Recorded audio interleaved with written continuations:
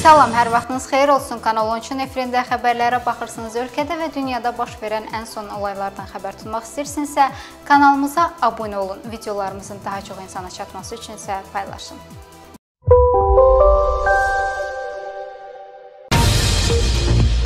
Bu gün Azərbaycan Mətbuat Şurasının təşəbbüsü ilə 44 günlük Vətən müharibəsində əskər və zabit kimi iştirak etmiş jurnalistlərlə görüş keçirilib. Mətbuat Şurasından verilən məlumata görə 26 iyun Silahlı Qüvvələr gününə həsr olunmuş toplantı torpaqlarımızın azadlığı uğrunda canından keçmiş vətən övladlarının xatirələrinin bir dəqiqəlik sükutla anılması ilə başlayıb. Mətbuat Şurası sədri Əflatun Amaşov bildirib ki, Azərbaycan xalqının tarixinə qızıl hərflərlə yazılmış 44 günlük vətən müharibəsində iştirak etmiş oğul və qızlarımızın qəhrəmanlığı dillərə dastandır. Bu müharibə xalqımızın əzminin və iradəsinin təcəssümüdür. Biz media ictimaiyyətinin nümayəndələri fəxr edirik ki, bu müqəddəs savaşda jurnalistlərimiz də iştirak etdilər. Vətənin çağırışına səs verərək özlərinin vətəndaşlıq borclarını yerinə yetirdilər. Mətbuat Şurası olaraq sizlərin tədbirimizə toplaşan vətən müharibəsi iştirakçılarına çevrilmiş həmkarlarımızın fədakarlıqlarını, təəssübkeşliklərini yüksək qiymətləndiririk. Sizlərə təşəkkür üçün nə desək azdır haqqınız ödənilməz. İstədik ki,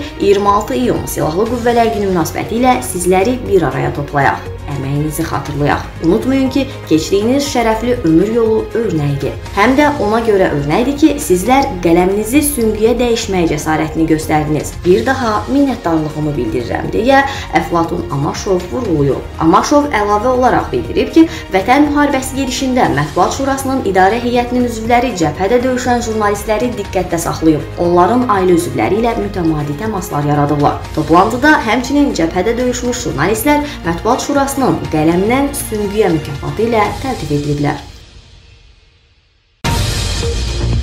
Azad edilmiş ərazilərdə dislokasiya olunan Azərbaycan ordusu bölmələrinin hərtərəfli təminatı və qoşun xidmətinin təşkili, eləcə də şəxsi heyətin sosial məişət şəraitinin daha da yaxşılaşdırılması ilə bağlı Azərbaycan Respublikası prezidenti Silahlı Qüvvələrin Ali Baş Komandanı İlham Əliyevin göstərişinə əsasən həyata keçirilən tədbirlər davam edir. Müdafiə Nazirliyindən verilən məlumata görə şəxsi heyətin xidməti və döyüş fəaliyyətinin təşkili, eləcə də məişət şəraitinin təmin edilməsi məqsədi ilə müasir avadanlıqla təchiz olunmuş müxtəlif müxtəlif təyinatlı qurğulardan ibarət növbəti modul tipli yerləşmə məntəqəsi istifadəyə verilib. Açılış mərasimində çıxış edən hərbi birlik komandiri general-mayor Mais Bərxudarov bildirib ki, hərbi qulluqçuların zəruri ehtiyaclarını təmin edəcək bu modul tipli qurğularda silah otağı, yataqxana, yeməkxana, mətbəx, eləcə də hamam sanitar qovşağı mövcuddur. Eyni zamanda kompleksdə zabit və gizirlər üçün xidmət otaqlar, tibb məntəqəsi, ehtiyat qidaların saxlanılması üçün ərzaq anbarı, əşya anbarı, dizel yanacağı ilə işləyən elektrik generatorlar, qazanxana,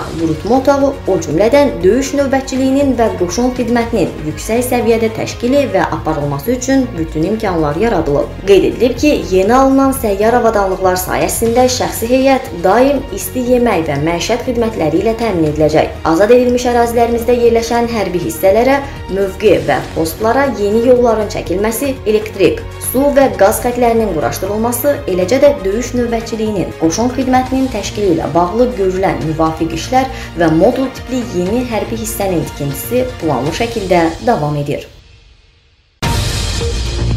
Ölkəmizə, həmçinin işğaldan azad edilmiş ərazilərə səfər etdiyinizə görə təşəkkür edirəm. Siz öz hissləriniz barədə danışdınız. Düşünürəm ki, hər kəs eyni hissləri keçirir. Bunu Azərbaycan Respublikasının prezidenti İlham Əliyev iyunun 23-də BMT-nin Sivilizasiyalar Alyansının ali nümayəndəsi Miguel Angel Moratinos-u qəbul edərkən deyib. Mən müharibədən sonra ilk dəfə Ağdama səfər edəndə qəmginlik hissi, kədər hissi, eyni zamanda şəhərin yenidən qurulması ilə bağlı qətiyyət hissi keçirdim. Yəqin sizə məlumat verilib ki, bir aydan da az vaxtda biz artıq yenidən qurma prosesinə başladıq. Siz gördünüz, hər şey dağılıb. Eyni zamanda təkcə Ağdam rayonunda 97 min mina bastırılıb. Biz Ermənistandan yalnız Ağdam rayonu üzrə mina xəritələrini ala bilmişik.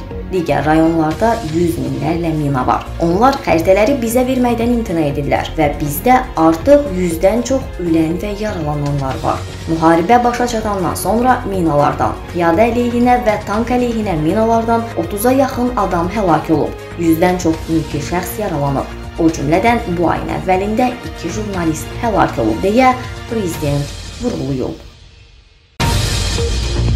Füzuli rayonu ərazisində yerləşən Horadiz qum çınqıl yatağının 55 hektar sahəsi 5 lot üzrə hərraca çıxarılıb və 25 ilə qədər müddətə istismara verilib. İqtisadiyyat Nazirliyindən verilən məlumata görə hərracla bağlı İqtisadiyyat, Ekologiya və Təbii Sərvətlər, Fövqəladə Hallar Nazirliklərinin və Füzuli rayon icra hakimiyyətinin əməkdaşlarından ibarət ekspert komissiyası yaradılıb. Faydalı qazıntı yataqlarının istifadəyə verilməsi ilə bağlı növbəti hərraclar 12 və 22 iyul tarixlərində keçiriləcək. 12 iyul tarixində keçiriləcək hərraca Qobustan rayonunda yerləşən Atyal Dolomit yatağı, 22 iyul tarixində keçiriləcək hərraca isə Qusar rayonunda yerləşən Qənərçay Qum Çınqıl yatağı və Siyəzən rayonunda yerləşən Dərəzarat Əhəngdaş yatağı çıxarılacaq. Hərraclarda iştirak etmək üçün iddiaçılar elanlarda qeyd olunan məbləğlərdə xidmət haqqını və başlanğıc qiymətinin 10% miqdarında beh ödəməlidir. Hərraclarda Azərbaycan Respublikasının və xarici ölkələrin hüquqi və fiziki şəxsləri iştirak edə bilər. Qeyd edək ki, yer təkinin istifadəsi ilə bağlı bu il keçirilməyə başlayan hərraclarda faydalı qazıntı yatağı istismara verilib.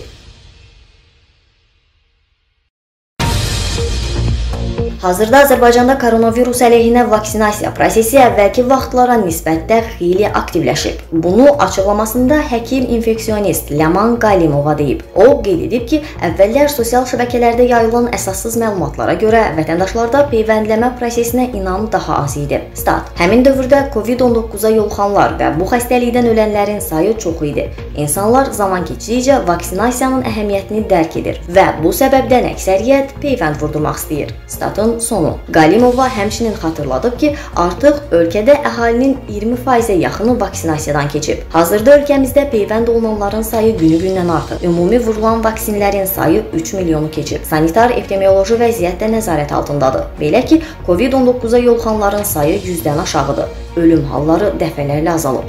Hətta bəzi günlərdə qeydə alınmır. Bu çox sevindirici haldır. Mütəxəssis bildirib ki, peyvənd olunmaq həm COVID-19-u tez bitirəcək, həm də yoluxma olsa belə xəstəliyi yüngül keçirməyə kömək edəcək. Ən əsası da vaksinasiya olunanların sayı artdıqca normal həyata geri dönüş sürətlənəcək. Qarşıdan payız fəslinin gəldiyini nəzərə alsaq, vətəndaşlar daha fəal vaksinasiya olunmalı, özlərini qorumalı, sanitar epidemioloji qaydalara əməl etməlidirlər. Əks təqdirdə virus yenidən yayılacaq və yenidən məhdudiyyətlərin tətbiq olunması məcburiyyəti yaranacaq deyə Ləman Qalimova vurğulayıb.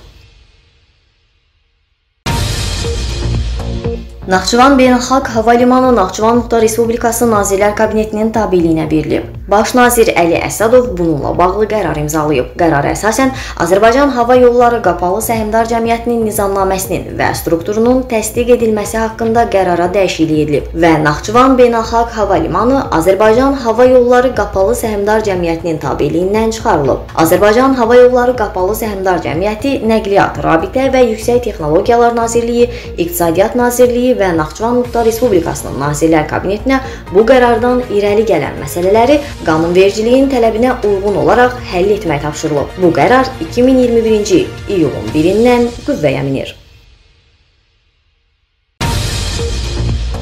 Rusiya hərbçiləri Krım yarımadası yaxınlığında Böyük Britaniyanın Defender Eskada mina daşıyan gəmisinə xəbərdarlıq atəşi açıblar. Bu barədə Rusiyanın Müdafiə Nazirliyinin açıqlamasında bildirilib. Məlumata görə hadisə Qara dənizdə, Violent Burnu rayonunda baş verib. Eskadra mina daşıyan gəmisinə Rusiya Federasiyasının sərhədini pozacağı halda atəş açılacağı barədə xəbərdarlıq edilib. Xəbərdarlığa əməl olunmayıb. Bu səbəbdən sərhəd mühafizə gəmisi xəbərdarlıq atəşi açıb. Vurğulanıb ki, bundan bir neçə dəqiqə sonra S Su-24M təyyarəsi Defenderin hərəkət istiqamətində xəbərdarlıq bombası atıb. Bundan sonra Britaniya gəmisi hərəkət istiqamətini dəyişib. Ukrayna Müdafiə Nazirliyinin mətbuat xidməti bildirib ki, iyunun 23-də Defenderdə Ukrayna, Böyük Britaniya və Amerika Birləşmiş Ştatları xüsusi təyinatları ilə birlikdə təlim keçiblər.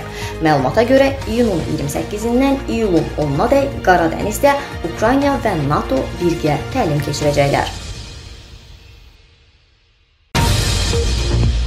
Ekologiya və Təbii Sərvətlər Nazirliyinin Milli Hidrometeorologiya Departamentindən verilən məlumata görə iyunun 23-də Bakıda və Abşeron yarımadasında hava günəşli keçəcək. Səhər bəzi yerlərdə zəif duman olacaq. Mülayim şimal-qərb küləyi gündüz cənub-şərq küləyi ilə əvəz olunacaq. Havanın temperaturu Abşeronda gecə 20-25, gündüz 31-35 dərəcə isti, Bakıda gecə 23-25, gündüz 33-35 dərəcə isti təşkil edəcək. Atmosfer təzyiqi 758 mm civəz tonu, nisbi rütubət gecə 60-65, gündüz 30-35% olacaq. Şimal çimərliklərində mülayim şimal-qərb küləyi, gündüz cənub-şərq küləyi ilə əvəz olunacaq. Dəniz suyunun temperaturu 22-23 dərəcə olacaq. Cənub çimərliyində də mülayim şimal-qərb küləyi, gündüz cənub-şərq küləyi ilə əvəz olunacaq. Dəniz suyunun temperaturu isə 24-25 dərəcə isti təşkil edəcək. Azərbaycanın rayonlarında sabah hava əsasən yağmursuz olacaq, lakin axşam bəzi dağlıq rayonlarda qısa müddətli yağış yağacağı, şimşək çaxacağı, qısa müddətli yağış yağacağı gözlənilir. Şərq küləyi əsəcək. Havanın temperaturu gecə 20-25, gündüz 34-39 dərəcə isti, dağlarda gecə 12-17, gündüz 22-27 dərəcə isti təşkil edəcək. Bax belə bu günlük və bu saatlıq bizdən bu qədər. Görüşmək ümidi ilə hələlik.